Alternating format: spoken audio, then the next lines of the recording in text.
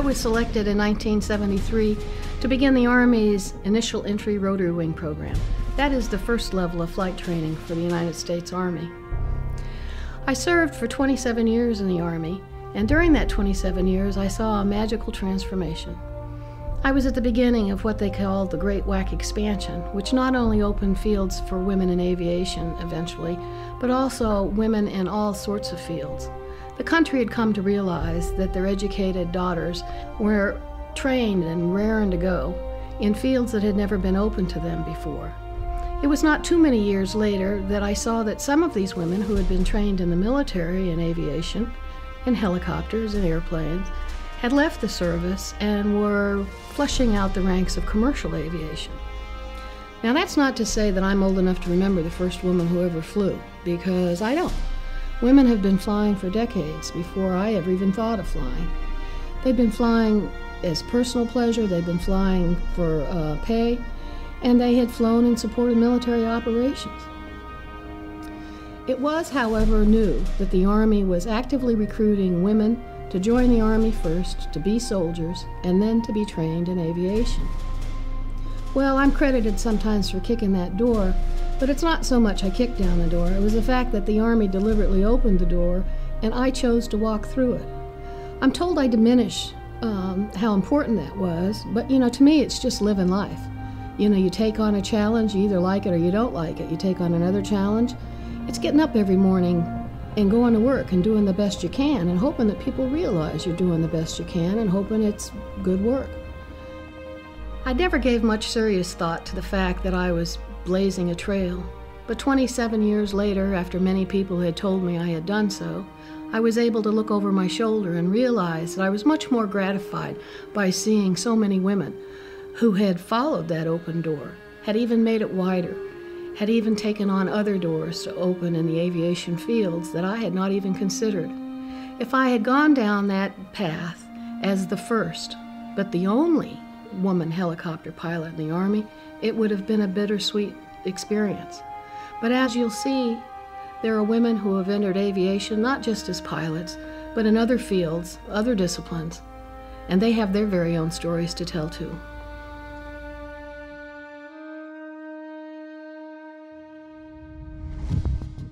My name is Melissa Mathiasen, and I'm the chief pilot at Sikorsky Global Helicopters in Coatesville, Pennsylvania.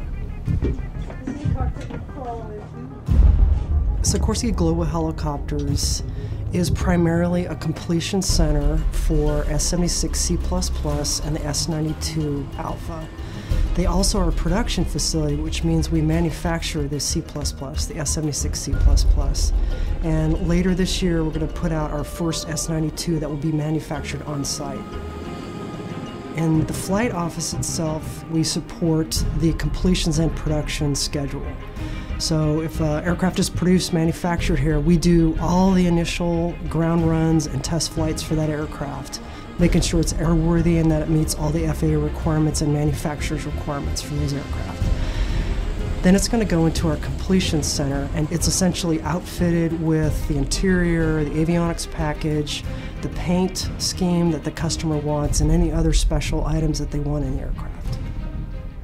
My name is Stacy Sheard. I'm a production test pilot for Sikorsky Aircraft Corporation basically we're flying helicopters for the first time they've ever been flown.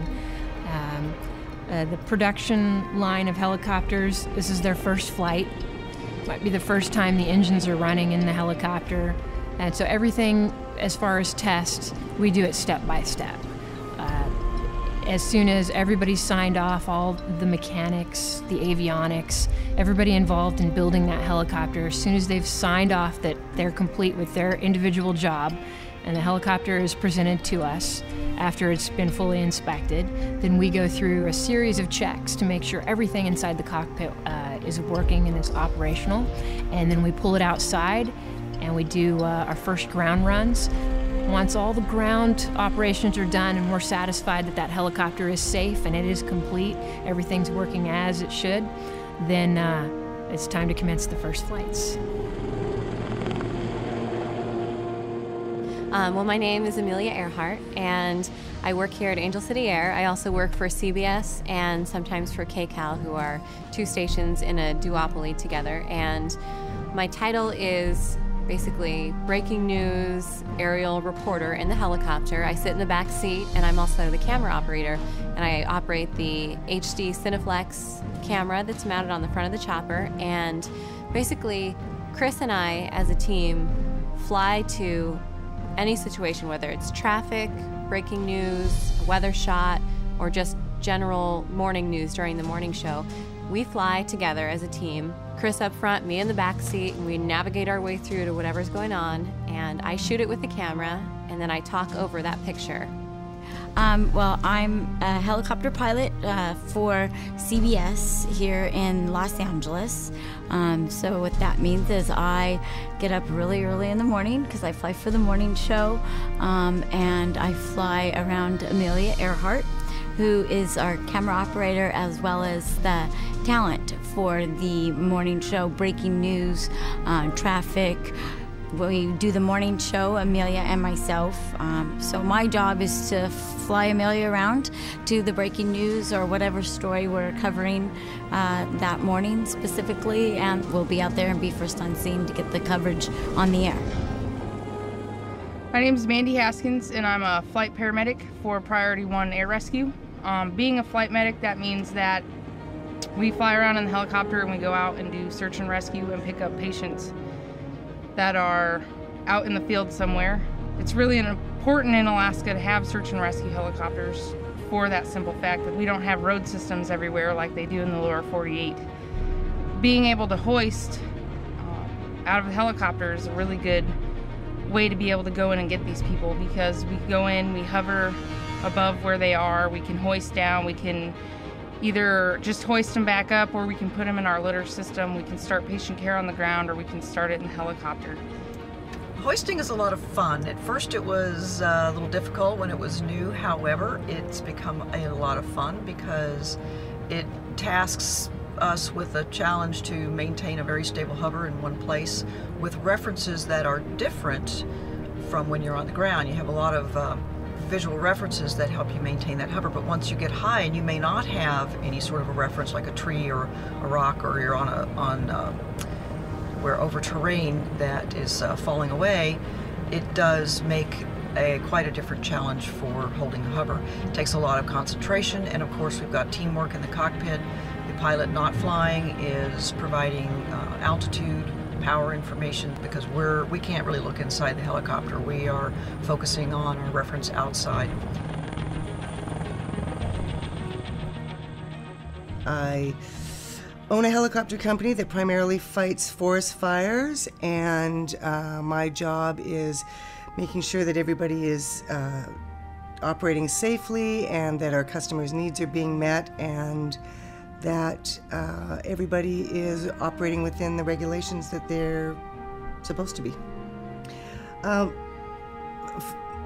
I don't really think that there is such a thing as a typical day because that's that's one of the things that's so interesting about this business is it's so fast-paced and changing all the time just by the very nature of how a helicopter itself operates it doesn't operate within the confines of airports and runways and those types of things. And so I find that overall, the business itself is very much like that. So um, my days are not typical one after the other, and they can start very early in the morning and go until very late in the evening, depending on what time zones my crews are working in.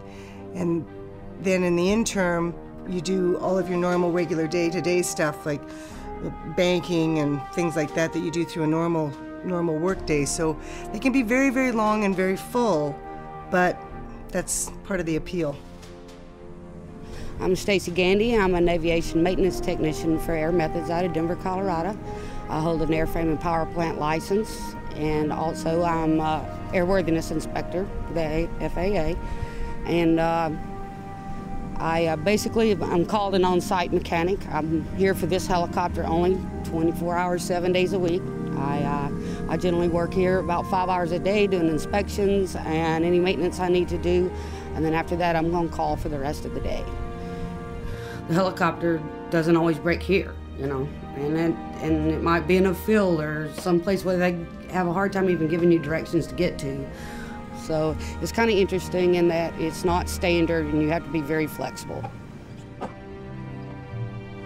My name is Heather Collins, and my title is Registered Nurse, Flight Nurse at Aeromed. Uh, I work for Tampa General, and I basically have worked for Tampa General since 1975 and with this flight program since 1989. The duties here basically uh, encompass nursing care of the patient as well as the aviation aspect of flight nursing. Okay, a typical call, uh, it'll either be a scene call or an interfacility, and a, and a scene call is when we go to the, the site of an accident and pick up the patients from there. They'll land us in either a field or whatever's close by to the, to the accident. Uh, we'll receive the patient from the paramedics who've cared for the patient on the scene, get report, do any interventions that might need to be necessary to stabilize the patient. We'll load them up in our aircraft and take them to the closest trauma center or stroke center, whatever the, whatever the, uh, the most appropriate place is for the patient. Well, my name is Caroline Kane. I'm a captain with Bristow Helicopters in Alaska. I fly Bell Helicopter 407 in a remote location on the north slope of the Brooks Range. I fly to pump station number four, and it's located along the Trans Alaska Pipeline working in a remote location, we only have about uh, 40 to 45 people on site at Pump 4. And being such a remote location, you really need to get along with the folks there, or otherwise it makes for not a very fun work environment. And we're on a two week on, two week off rotation. Uh, you can drive to Pump 4 on the Dalton Highway, or the Haul Road it's called, but that can take about eight hours. So that wouldn't be a, a very good commute. So we actually, Alyeska actually charters an airline, and we fly in every other Thursday. Um, current pilot duties and, and responsibilities include oil spill response, weekly pipeline surveillance. We do uh, medevacs and external load operations, and also air support for the communication repeater sites. The area that Pump Station 4 covers covers 208 miles of the pipeline and we cover from pump station number one to milepost 208. So they're all in milepost miles, pipeline miles. And the weekly surveillance that we actually do, we'll actually have an observer with us, security observer. We'll fly about 300 feet off of the ground, about 100 knots, so it's a lot of fun flying low like that, low level flying. And the observer will then uh, look out the window, check the integrity of the pipe, make sure there hasn't been any changes. My name is Shan Shope, and I am a seasonal contract pilot for Bristow, Alaska. I have been up here two previous seasons, and I've also worked tours and I've done a little bit of EMS. But I think my passion is mostly in utility and especially long line precision, long line type work. As a long line pilot, you, you have what they call an external load. So if you've ever seen a firefighting helicopter where there's a line that comes down below, and in firefighting you have a water bucket. Um, but you can use that same technique instead of fighting fires with water, but you can maybe set air conditioning units on the top of a, you know, a roof, or you can do all sorts of different things. And in my case, mostly I've done um, moving drills. So there's an exploration that's looking for coal and you move these drills and they have different pieces and sections that need to be stacked and obviously they're too heavy for a person or two people to lift them and they're in the remote locations of Alaska so you can't haul in heavy equipment and tear up the tundra so we do it all by helicopter my name is Amy Sargent. I'm with the Florida Keys Mosquito Control. I'm the chief pilot, and we spray for mosquitoes. We both a larvicide and adulticide, which means um, that we're killing both mosquito larvae and adult mosquitoes using helicopters and fixed wing aircraft. When we larvicide, we have um, a spray system that puts out a granular pellet that has, it's actually ground up corn cob, and it has a bacteria on it, and the mosquito larvae will eat the bacteria that comes off this ground up corn cob and it causes their stomach lining to rupture and killing the mosquito larvae. Um, to adulticide, we use a lip- liquid product that we spray out of the uh, helicopter. We have 11 pilots here at the mosquito control. Um, seven of them are fixed wing, and they're just part time pilots. Um, and then there's four of us that are helicopter pilots. Our spray season normally runs from May to October. That's our busy season. Um, so during the off season, then we do a lot of training. Uh, everything we do is low level, right over the treetops, over wires, around towers, and um, I hate to use the term type A personality, but you do need to be a perfectionist. Um, I think any pilot, most pilots are. It's required. I sh- shouldn't say if it's, it's required. It's just, it's a a skill that will help save your life because you can't be wrong.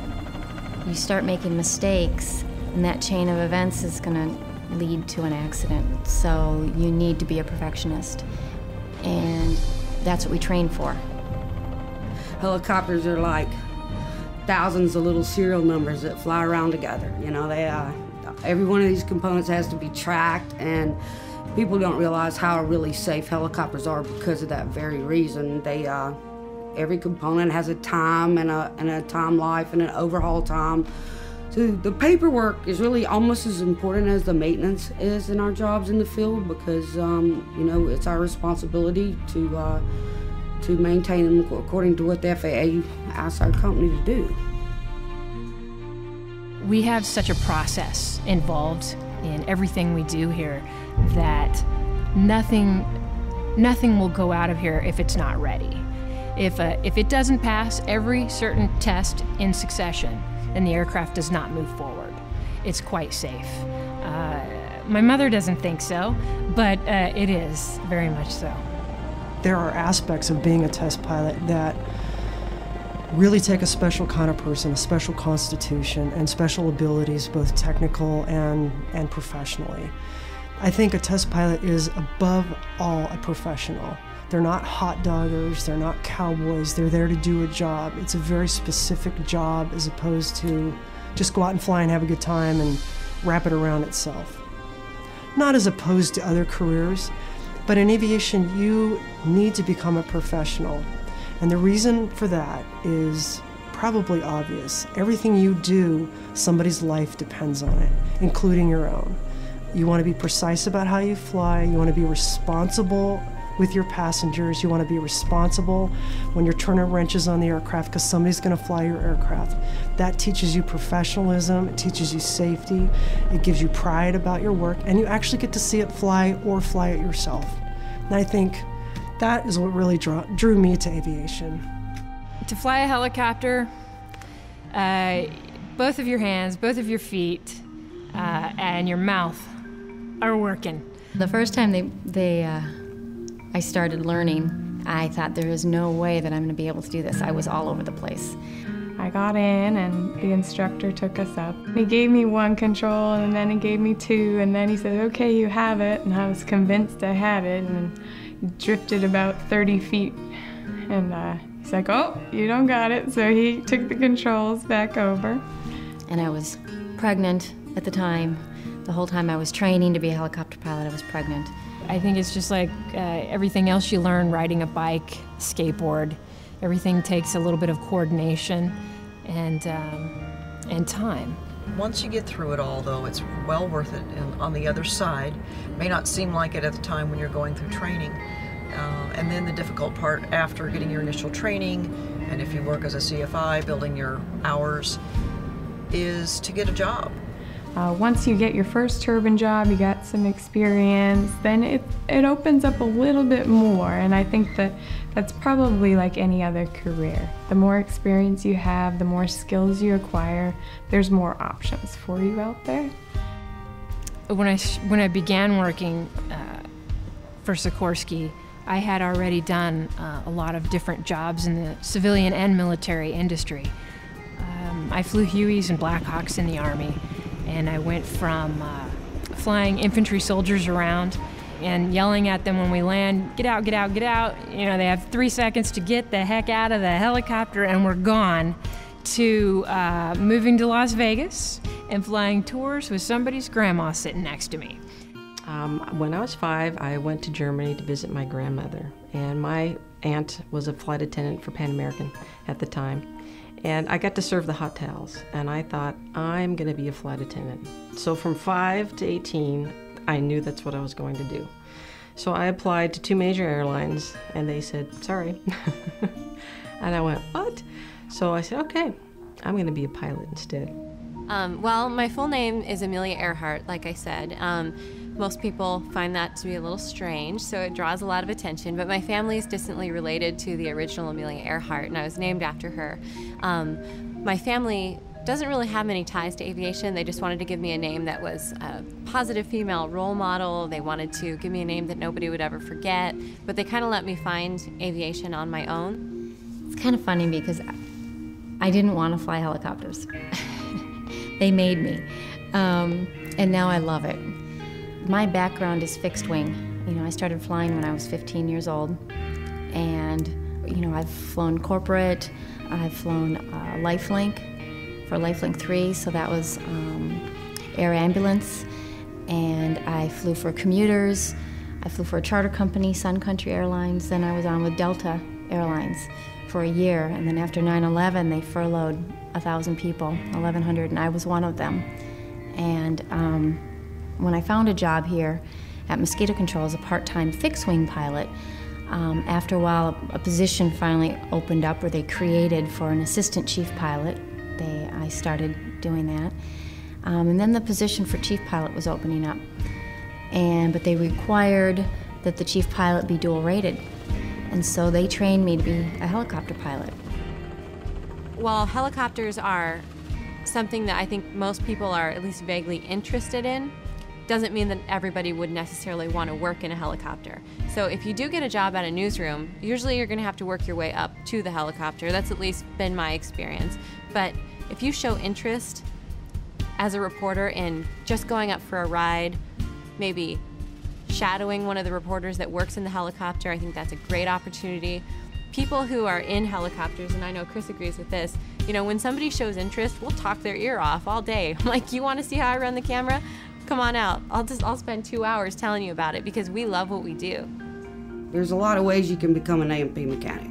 I'll give you a little background here. You can go to school for two years. There's people that were in the military as mechanics, but in order to get a civilian license, they have to submit that experience and they can take tests. Or you can work under an aircraft inspector like myself for three years, and that inspector can sign you off and you get your license. This is how I got mine. It's the hardest road to go, but you, you know what you're doing by the time you do get your license for sure. And uh, I actually have a degree in psychology. I was going to law school and took a summer job waxing airplanes and uh, World War II airplanes, and I never left aviation again. The Whirly-Girls organization is quite unique. Uh, when I actually became a private pilot, they issue you a number, and I became 587. I believe there were well over 1,700 now uh, internationally. Uh, what's really nice is if someone wants to forward their career uh, in aviation, they can actually apply for scholarships. Um, a few of my girlfriends have actually received scholarships, $5,000 scholarships on up. You certainly wouldn't want to invest a lot of time and money in something and find out later that you get motion sick and it just isn't for you. And we have had that happen. So, first of all, if somebody thinks they might be interested in doing this, they they need to make sure that the actual field is for them, the nursing field or the paramedic field, and if that fits, then there are opportunities to fly along with certain programs. They do allow you to do that. You get a, you get your feet wet, decide, and, and, and usually you'll know right away. Oh, this is for me, uh, or this is not for me. A lot of people go fixed wing and then they go over and add on the helicopter rating. I chose to just do it all in the helicopters. Um, I, that was where my heart was and my passion was. Basically, you have to love to fly and you have to like helicopters. It's not as glamorous as everybody makes it out to be, so if you're just looking for the image of being a helicopter pilot, it's a lot of work and i mean depending on where you go it's still a job it's still work so you really must enjoy it i get up at 3.15 in the morning and that's horrible you know when that alarm goes off i won't lie I don't get up and go, yeah, I'm going to work. But the second I pull into the driveway here at the airport and I see that helicopter sitting out there on the ramp, that's when I go, all right, let's do it again. Let's see what's going to happen today. Because that's what's cool about this job. I never know. I, I flew for New York Helicopters in 1988 and I actually took some time off and then now I'm back flying. And I, I, when I first got hired with the chief pilot here at Bristow, I think he had more confidence in myself than I did at the time. I had actually flown 14 years. I decided to get married and have a family and actually thought my career was done. And uh, my dad passed away two years ago, and that I think shocked me into life is short. And the only flying I was doing was in my dreams. You know, I'd, I'd look up and I'd see the helicopters, and I'd tell my kids, "Oh, that's a A-Star. There goes a Jet Ranger," and they're like, "Well, what's that?" And I'm like, "You know, I'm to get back into this." Your love for aviation could start at any age. You can be impacted by something at any age, and there are so many different jobs you can have in aviation. You can be good at math, you can be good at the arts, you can be good at reading. If you really like computer science, you can find a home in aviation. So if you have any interest at all, I really recommend just go to some small airport and talk to some of the pilots around there. If you want to get started in any kind of industry, you just need to start networking. Don't be shy, get out there and go for what you want to do. I never considered myself particularly special at anything, and look what I got to do. So I would just encourage you, if you have any interest at all, go check it out.